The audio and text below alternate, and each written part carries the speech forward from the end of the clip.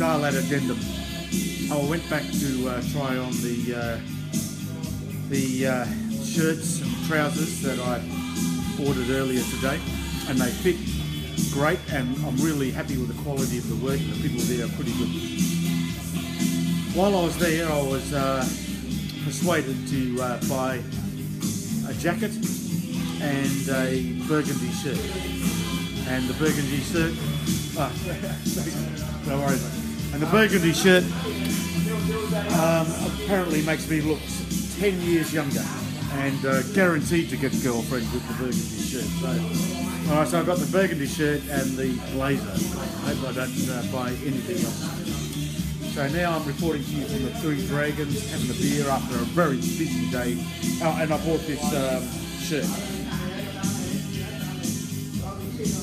Flag of Vietnam. Uh, good quality t-shirt. So that's the Dalat Addendum. Um, thank you for watching. This is Stephen Curran signing off.